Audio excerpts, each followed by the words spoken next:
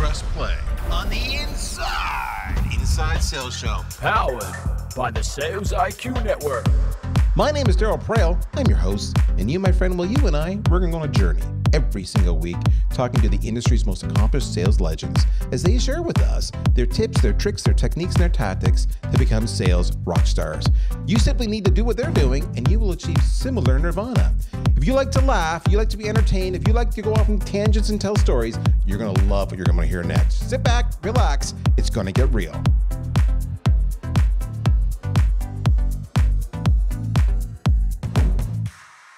It's a wonderful day in the neighborhood. Oh my goodness. How many of you knew that was Mr. Rogers? Just kind of curious. If you didn't, you had an awful childhood, and I'm really terribly sorry for you. And you should go back and watch it. Speaking of which, did you ever watch Mr. Rogers, the Tom Hanks movie? That was a wonderful, eclectic movie. Fully suggest you go watch it. Uh, speaking of which, I just want to say I never, I don't know if I've ever done this on any of the podcasts before. My wife and I right now are binging on Only Murders in the Building. And I want to say that I think that is the most amazing, fresh take on, you know, it's not a sitcom, it's not an action movie. It's actually got some really good writing and, and, and, and cinema. So if you're not watching it already, go watch it. You know, Steve Martin, Martin Short, and Selena Gomez. Whoever put those three together, casting brilliant. Okay, so that's my little insight. You now have been caught up on everything. Mr. Rogers, only murders in the building. I may have a problem watching too much TV through my entire entire life. So you have it. Um, I want to talk to you a little bit. Uh, I mentioned this uh, an episode or two ago that we were now, if you're listening to this, you know, as they all come out, if you're binging and it's like January, I'll give you context, but ignore the following little bit. But if you're listening to this in real time, um, we're now early on into the second half of the year. We're in July. And second halves are interesting, right? Because you have a chance to look backwards and say, how did I do? How was Q2? How was the second half? How am I trending? Am I destined for President's Club or am I sucking wind? And if I'm sucking wind, can I recover? What do I need to do to recover? The interesting thing about self assessments is that they can lead to additional stress or or they can lead to moments of revelation where you realize I know what I've done wrong and I know what I need to do. I mean, I have this Zen like transcendence descending upon me because I'm focused. Mm-hmm. And the way forward is very obvious. But for most of you, that's not at all what's happening. For most of you, you're a mess and you're freaking out and you're going, What the hell do I do? I missed my number. And you know, we've never talked about this that I can recall on the show, which is what do you do when you miss? I've missed a lot. I want to be full disclosure. I have missed more times than I almost want to say, have I have I made it more times that I've missed it? I don't know. It's almost, you know, am I like a baseball player where if I'm, you know, one in three times uh, I'm hitting my number and they would think I'm a, I'm a rock star? Or, or am I like a goaltender where, you know, you want to have a save percentage of around 900, you know, percent or more, and then you're a decent quality. So nine is out of 10, I'm going to hit my number. Now, I don't know which sport applies to sales. I'm sure the investors think hockey is more applicable here than baseball. That's just my opinion. But, you know, who knows? But yeah, I've missed it. I've missed it a lot. And I've got a couple ways that I've dealt with it.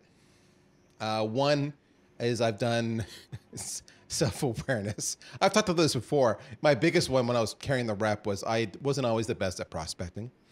And the problem when you're not the best at prospecting is that then your pipeline gets thin. And if your closing percentage goes down, or there's ever external factors like rising interest rates and massive global uncertainty around supply chains, and people are delaying decisions or they're conserving cash and budgets are contracting, you're, then your already thin pipeline just goes poof and it's gone and you're screwed and you're like, damn it. So that's the one part. Um, and you know, there's, I have learned sometimes um, I am a victim not of poor sales skills, but rather of poor management skills, which means how do I work with the people around me, manage their expectations, um, give them context and know what's going on. And uh, and those are things you have to learn the hard way. Usually, as they're booting you out on your ass, and then you're fired because you didn't hit your numbers, and you're sitting in the bar and you're bitching at the world, and all of a sudden you're going, okay, wait a minute, maybe I own a little bit about this. What would I do differently? But we don't want that to happen to you. We don't. We don't. But we do want you to contribute to the conversation. And I think I'm just going on a limb here and say, I don't think I'm alone. I bet you every single person on this podcast right now listening to it has missed on more than one occasion. And as I tell my team when we miss, whether we're missing in sales or we're missing in marketing or we're missing in life and our goals and aspirations, it's not the fact that you missed that matters. What matters is how you respond to that. That's what matters. That's what indicates your strength, your skill, your ability as a professional, your ability to have long term success, or possibly your ability to look for a new job in a new line of work. It all comes down to that. So, I've always had a wonderful conversation and relationship with today's guest. We met years ago for the first time ever at a show, a wonderful trade show, and we became best buds and we talked and drank excessively. And ever since then, we just keep on, you know, leaning on each other. This woman is something I, someone I think of when I think of world class sales leaders, and I think of as world class people. She is the host of the show, The Other Side of Sales. If you've not partaken in that podcast, you absolutely, truly need to do it because it is, for lack of a better word, the absolute opposite, the antithesis of bro culture. It is about inclusivity. It is about an openness to all those who are underrepresented, uh, who are maligned, who are uh, not given the same chances that people like myself, white males, have access to. And it is a brilliant, brilliant take on what is likely uh, the largest audience of sales reps in our industry. Um, so check that out, the other side of sales. If you haven't figured it out by by now who I'm talking to, then let me let me just stop right here and talk about this amazing person. Her name is Ashleigh Early, and I am thrilled to have her back. Ashleigh, how you doing, my friend? I'm doing great. Talk about uh, talk about talking me up in the intro, raising that bar. Now I got to make sure I don't fall short.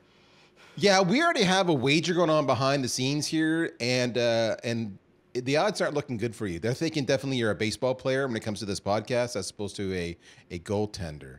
But uh, what you don't know, folks, this is important to bring up since we're talking hockey. Ashleigh is a super fan, not just a fan. She's a super fan of the Colorado Avalanche in the National Hockey League. And I believe something significant happened this year, Ashleigh. What happened? Oh, we are the Stanley Cup champions, thank you very much, after a 21 year drought. And had one of the most successful campaigns for the Cup ever. Um, and I have paid three rounds of import taxes to get all of the stupid merch into the Netherlands from the States and Canada. Um, and just to give you, he talked about obsessive fans. I literally shifted my circadian rhythm because these games started at 2 a.m. every single time. So I would work, I'd start work about 4 p.m. because I live in the Netherlands. I'd work until about midnight. I'd take a couple hours off. I'd watch the game and I'd go to sleep between 5 and 6 in the morning for about three weeks. It was a trip and it was worth every sleepless night and waking up at 2 in the afternoon for. I hope every sports fan gets to see their team accomplish that goal at some point. That is as close to joy as I felt on my wedding day and other big experiences in my life, but that is something I'm going to remember for a long, long time. So, yeah, I will do all the hockey metaphors. And as someone who's also married to a goalie, I definitely want to lean more towards towards that side just from a straight pride angle. But Yes. from a sales perspective, I think it, one of the things we were talking about, whether it's baseball or hockey too, because I am also a pretty reasonably big baseball fan. Do not ask me anything about basketball. I don't know anything about it. But when it comes to baseball, it's really interesting because I think which sport we should use should depend on what industry you're in and what size company you're at. Okay. Because this is the thing that I think a lot of companies and a lot of people fail to understand is quotas are the people who design quotas are human and a lot of times quota design is based off of what people what companies what leadership wants to achieve not necessarily what is proven possible to achieve. So i see a lot of people who are working at smaller companies you know 20 30 salespeople or less sometimes 10 salespeople or less and they'll miss quota for a year because they just don't know how to design the quotas yet. It takes that long and so they're calling me in a panic going oh my gosh i missed quota three quarters in a row. And i'm like yeah, but is anyone actually expecting you to hit those numbers? And if the answer is yes, yikes, you've got a mismatch with management on a lot of different issues. And if the answer is no, then it's okay. It's just a matter of making sure that you're making the money you need to make to live. But to that point, if you're at a company with 5,000 salespeople and you're not hitting consistently and you're not in that goalie type range, it's a much bigger issue than if you're at a point where they don't have these things as well designed with years of evidence behind that design process. So it's you're you're playing different sports depending on what You- what sort of sales you're into. And I love that you said that because that's somewhat what I was alluding to in my opening preamble, where I was eh, talking about I learned some of my challenges were communication skills, meaning when the quotas were delivered to me, you know, I was the one, I, I learned eventually to be the one to say, whoa, whoa, whoa, whoa. Can we just back this out and do the math that got us here? Now, unfortunately, here's the thing: is too many sales reps are doing that as a trigger reaction um, at that moment in time because they never like the fact that the quota goes up, but they they do want the commissions to go up, which is always remarkable. So if you do that, you're you become the boy who cries wolf and nobody listens to you. So don't do that. All right. But you do want to be involved early and often whether it's you or through your leadership, your sales leadership, you want to be involved in the thought process that goes on because you know it's very common that you maybe you'll get a round of investment from a major you know venture capitalist and then their whole business model is you have to grow at 100% minimum Yeah. and when the space that you're in is growing at 25% which is by the way a really good growth rate the, ch- the chances of you going at a 100% unless you're the category leader are highly unlikely. And but that's the expectations and many leadership teams will just go you know our major investor said that's what we have to do so here's the quotas go. And and that's just a recipe for disaster. And in fact not only is that a recipe for disaster it's a recipe for a lot of staff turnover. Because people will never achieve the commissions that they're supposed to because the quotas are out of you know they're, they're just crazy. So that's one of the things i learned after times of missing it was to get involved much earlier in that process. But with that all said let's go back in time here ashleigh. Let's just play it out. Uh, i mentioned that we're kind of just finished q2 let's just say for all those listening i've missed my number in Q2. And now I've got all this visibility on me and a lot of expectations. What do I do first? I mean, my gut reaction is for me to lash out at them and say, You're stupid. I did everything right. I'm an awesome sales rep. You're stupid. Yeah, it was And rigged. uh, I never it was a shot. rigged. What the heck? all the good leads went over there. Marketing let me down. All the excuses that we all know. the market slowed again. down. What am I supposed to do? The- I can't help the Fed raised interest rates. It's not my fault. everybody's slowing down. It's not just me. Um, for me, when calmer heads prevail, and I and this this is kind of my first reaction is, are they right? Is it me? Am I the issue, or is it them? And I find a lot of reps skip this step, but Yeah. I because they just want to go to the the blame game. Um, it's kind of like the seven stages of grief. You know, eventually there should be acceptance in there, right? Um, but anyway, that's my thought. you talk to me. I'm the bad guy. I just missed my number. Uh, just um, for shoots and giggles, I will say that. What, what what are the processes here? Where do I go from here? Let, let's talk. Yeah. Okay. First thing I think it's important to call out. You called out kind of the, I call the rage phase. Let Yeah. yourself rage. Get, get mad, get angry. Um, to quote a, a hockey a hockey coach, actually Bruce Boudreau was featured in a documentary a few years ago, and I loved he had this moment after his team had a really tough loss, and he came in the locker room, and he said two three sentences, but I remember they really stuck with me, and I've, they've kind of become a bit of a mantra. He walked in the room, everyone's really pissed. They're throwing their gloves, they're knocking sticks over. And he just comes in, just looks around the room and goes, All right, let it burn. And come ready to come ready to work for practice tomorrow. And that was it. Walked out of the room. And I love that because you have to let yourself get angry. You have to let yourself rage and blame, and you have to feel that because if you deny yourself the opportunity to feel it, you're never going to get to your point to that place of acceptance. Get angry. It's fine. Get angry, get sad, get to, get whatever, but give yourself like a time frame, like a day, a weekend, something like that. Get together with some other reps and commiserate. Whatever you need to do to feel the feeling so you can let go of them and then get to that place of acceptance. Once you're through it, then it's okay. To part to to get to be blunt, what the f just happened? I missed. That's a fact. It happened. But what caused that? Where where did the miss come from? And kind of look at all the analysis. Was it genuinely out of your control? If it was, how could you have flagged that earlier? Could we have gotten quota relief? Could we have come up with other ways to strategize around it? Stuff like that. How much of it was in your control? Um, I do a lot of coaching with sales reps, and one of the most common things I hear when someone misses quota is, I don't understand how I could miss. I'm working so hard. And you are working hard. If you are in this position, I guarantee you're working hard. I don't doubt for a second you are putting in all the effort that you need to put in. The question is, are you putting the effort in the right places? Darryl, to your point, you mentioned prospecting and the importance of having a robust pipeline. And if you're not someone who enjoys cold calling or enjoys doing those hyper personalized emails, of course you're going to avoid it. Did that contribute to you missing quota? If it did, then maybe you need to put more effort into that area to prevent this happening again. So maybe you're putting all of your effort into chasing down business, looking for repeat business when you need to start supplementing with new business.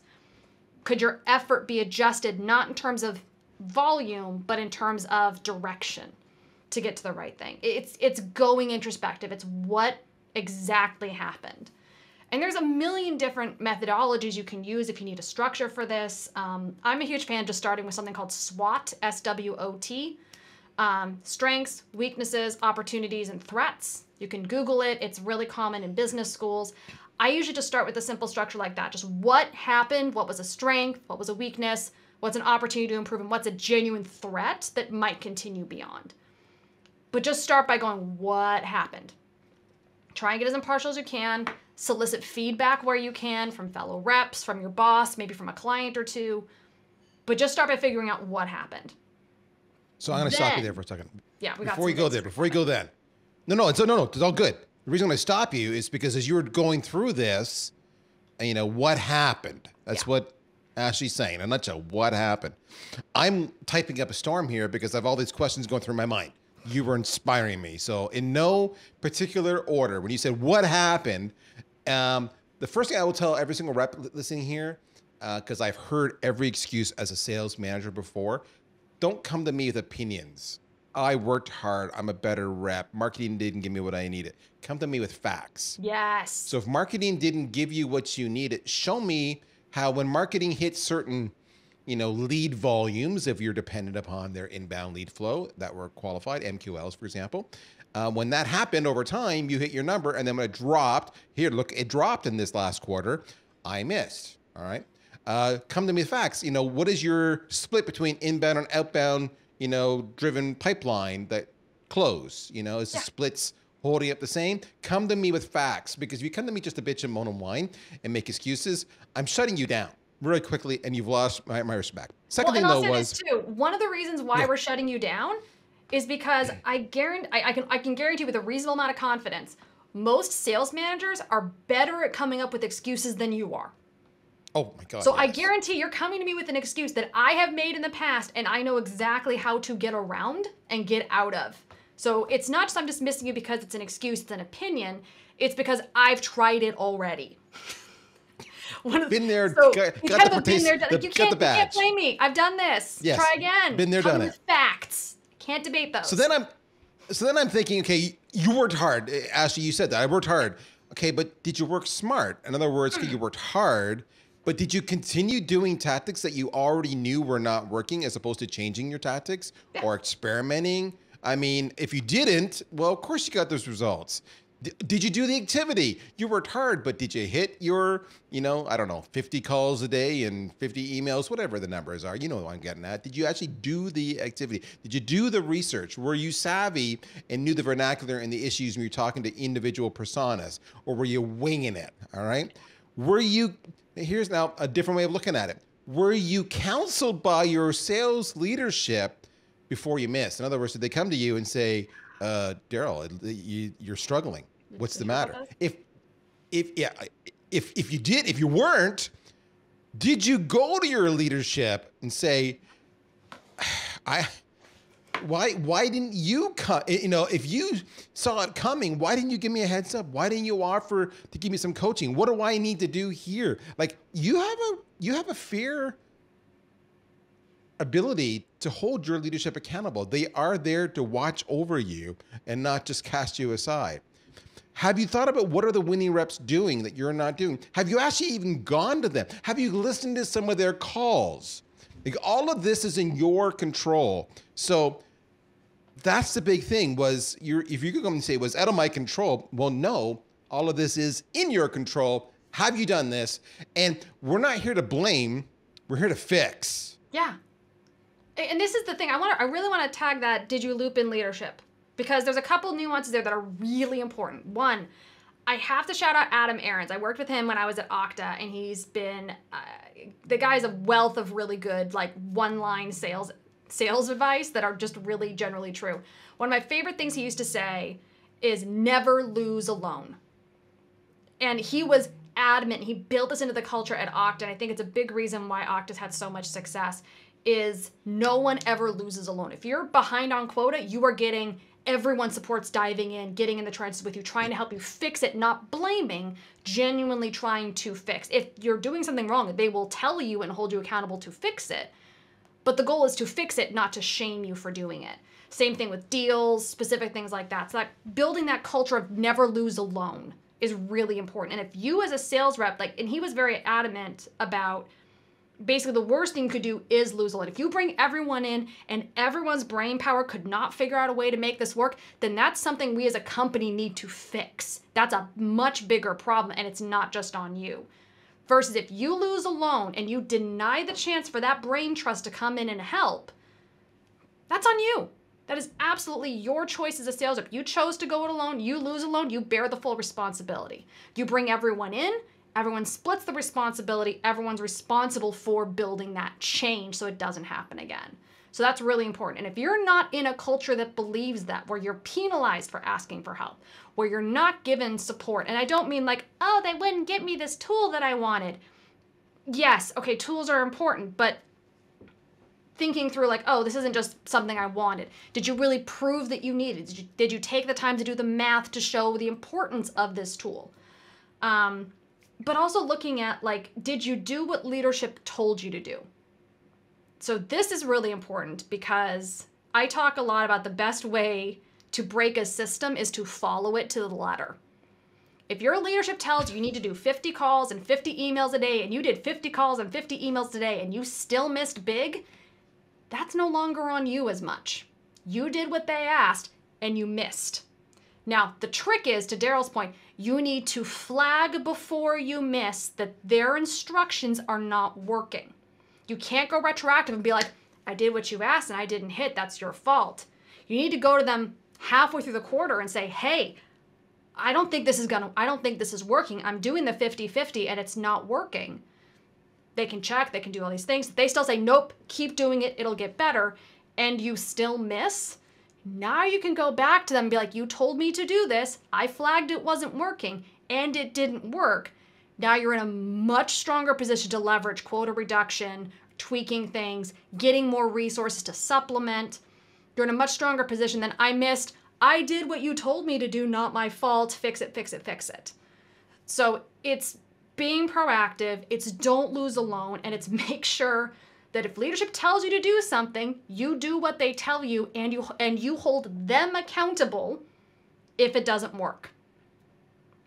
Now, it's not to say they guarantee Now- they're going to do anything, but that's how you can drive some change on your own and take some agency in setting your quotas. It's also how you can walk out of that building with your head held high if they eventually let you go, Yeah. because you know it's not always your fault. Don't go quickly grasping to blame your failure on management. What we're talking about here is literally just you know taking an assessment of the situation and assessing what you did right, what you could have done better, who is partly to blame, how did you how did we get here? In the end, that's what you're really asking: is how did we get here? Now, you mentioned uh, Jason Lemkin uh, before we went live, so Yes. bring that up, Ashleigh. Jason Lemkin wrote a great article that actually one of the sales leaders I work with sent to me this past quarter after they'd had a difficult quarter. And I love this concept. Um, and I'll we'll put the link in the show notes, but it's this concept of a hard miss versus a soft miss. So a hard miss, just truncating this argument, go read the article. He does this with a lot more flair and data and much better argued, but very truncated. A hard miss is you had a goal of 100 and you hit 50. You just missed and you missed pretty sizably. That's a hard miss. You got to go look at why did I miss? What really happened? Not quite, you know, five alarm fire, but like we got to figure out what something seriously went something went very wrong here. And then you've got a soft miss. You hit 80, 90 out of 100. But a, you got, soft miss is also important because soft misses take into account that there may be variances in the goal. So, for example, you may have hit 80 or 90 this quarter, but the previous quarter you hit 50 and the quota was 50 or the quota was 60. So the quota is almost doubled and you almost doubled and you just didn't quite get that extra 100% growth that you wanted to get. That's a soft miss. That's not we need to rethink everything and go evaluate. That's we were just a little bit off. Don't panic, don't freak. It's just a little bit. Let's keep you know the signs are pointing in the right direction. We'll make adjustments, but we're going in the right direction. So I think it's also going through, and I hate when companies have these really hard and fast rules around you go on a PIP if you miss quota two quarters in a row. I missed it by less than 5%. Shh, that's not a good reason to term someone. You know, thinking through, okay, what's going through? Was this a hard miss or was this a soft miss? And that can kind of help you determine the depth of analysis and, to be blunt, the depth of panic. I think that's justified by the situation. So if you can look at, oh, it's my third quarter at this company, which means it's really your second full quarter, but really first and a half quarter at full ramp. And did you big miss or did you slightly miss? If it's a slight miss, all right, I'm still reasonably new to this role. Let's figure out where those little nuances are to keep adding 5, 10%, and I'll be there next quarter. We're building, we've got this. Versus if you've been at the company forever and you're consistently at 100%, and all of a sudden you're at 50, whoa, something's changed. Let's take a couple days and figure out what happened while I assess what the path forward here really looks like. Is there a path forward here? Um, I can give you a really good example, actually, oddly enough, too, looking at a hard miss that looks like a hard miss, but actually is a soft miss. Um, I've for talked about this before. Um, I actually was, when I was an SDR, the quarter I am most proud of in my, my entire time as an SDR actually was my lowest performing quarter by the numbers. Um, I think I hit 63% of goal for the quarter. Um, and I'm proud of that because I don't think anyone could have done any better than I did. And the reason why I say that was that was Q4 2013, maybe 12. I forget. Dates are irrelevant now. But I, during this period, I had uh, Manhattan and Long Island, and this was right after Superstorm Sandy. My territory shut down and I still managed to get 63% of my goal, and I'm proud of that. So that was absolutely a hard miss. I missed big, and I know why I missed big because everything went to heck in a handbasket. However, my activity was the highest the company had ever seen. I know for a fact that record held for several, for almost a few, almost five years, I think. Um, my conversion rate was great, and the next quarter I broke a bunch of records for performance because all the the groundwork I did during that terrible quarter came back to me the next six months as people started to get their feet under them, and it was, oh, that nice person who was human and talked to me instead of just pitching me came back and gave us a lot of opportunity and a lot of very big, a lot of really good business. So there was a hard miss technically, but it was a soft miss because I did everything right and everything came back later on. So I'm very grateful that I worked for a sales leadership that gave me some, they didn't give me quota relief, but they did give me some financial compensation for the fact that this thing had happened that was out of their control, it was out of my control, but they didn't want me to not make my rent. Um, they understood that this was a really crazy situation so they gave me a chance to keep rebuilding because they saw I was putting the effort in. Stuff happens. And I'm also very lucky that I was at a company that was big enough to handle me having a big miss. Some companies can't handle that. If you have a two person SDR team and one person, and you're maybe that person who really sucks, it's a much bigger deal than if you're one of 10 SDRs who is really struggling or who has a freaking hurricane shut down your territory it's a different thing. And this is why the introspection is so important. I walked away from that quarter remarkably solid in my skills and confident in them because they've been put to the test. And I was able to segment myself from the results. And I think that's a really important thing to start working on as sales reps. We so frequently define ourselves by our results, and we need to be defining ourselves by our effort and by our strategy that's what sets us apart. The results kind of some in some ways are what they are. It's can you hold your head high and can you walk away to whatever that next step is, whether it's at that company or somewhere else, going, I know I did everything I could and I learned everything I can. If you have that, you will be okay. Let it burn, get pissed. But if you know that, if you know you've learned everything you can, if you know that you've you've done everything the right way as much as you can know that it will fall into place. You will be okay and it won't become this huge perpetual habit that will ruin your career forever and ever.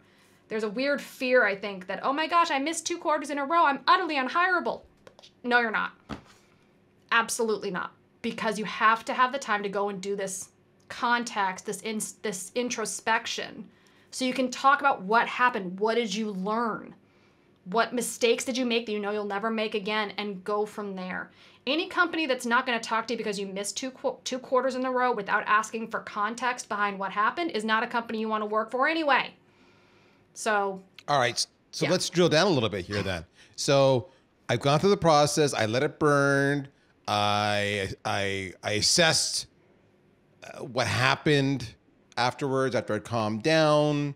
I maybe talked to my leadership um, to understand their contribution to the process and how we got here. And I'm owning that maybe I wasn't an ideal rep. I wasn't a poster child. How do I rebound? What do I do next? it's focus on what so it's the um and i'm, I'm going to get this wrong been trying to remember for the past five minutes it's you know give me the courage to change the things i can the grace to accept the things i don't and the wisdom to know the difference um, i know that comes I, I know that from alcoholics anonymous i'm not in there but i'm familiar with that prayer You nailed it. good okay I was, I was like i don't know if that's right it. or not That's but it- it's Yep. it's that it's like look focus on It's what the you can sinner's change prayer, if you're wondering, folks. By the way. there we go Um, go ahead. but it, it's it's focus on that like okay here's what i can change go change it here's what i can't change i'm letting it go i'm releasing it to the universe i'm actually really dorky i'm a huge fan of lighting things on fire um, which sounds really weird out of context but literally what i would do is i will write things if i'm really struggling to let something go if i'm really upset about something i will write it on a piece of paper i will take it outside and i will light it on fire and just watch it burn and as i watch it burn it just it's it's cleansing to me. I don't know why. It just works for me. Um, I started doing that in high school with like papers. I didn't when I thought the teachers were grading me unfairly. I'd light the paper on fire. Um, but let it go. Just okay. I can't change. Like if you go to leadership, you make the argument to reduce quotas, and they say they're not going to reduce quotas. Okay, I'm going to run at this. I'm going to do whatever. Or okay, this is not a place I can afford to stay at long term. Fine, that's okay but you've now made the argument based on data that they're choosing to ignore. And now, if you give that same data to the next company you decide to start talking to, that'll give you a really good idea if that's the right place for you to go to or not. So it's all about, it's not excuses, it's, oh, this is the reality of the situation. This is what happened. Not blame, facts. So it's. So what I would, what I Yeah. would look at if I were you, um, is